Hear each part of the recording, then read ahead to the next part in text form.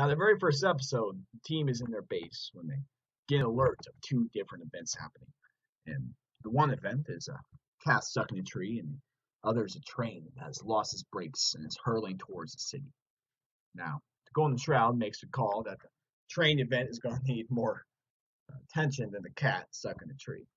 But eventually, the team will look at the cat after they rescue passengers and stop the train. But the team needed to brainstorm, come up with different solutions. So, Commander Cranium thinks that he can handle the train by himself.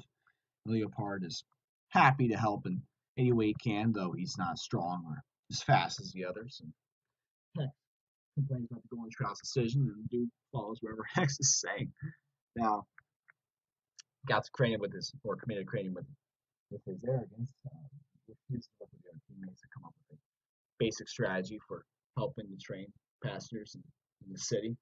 But Hex and Duke are going about each other and complaining about whatever Shroud's saying and trying to work, around ways to undermine his decisions.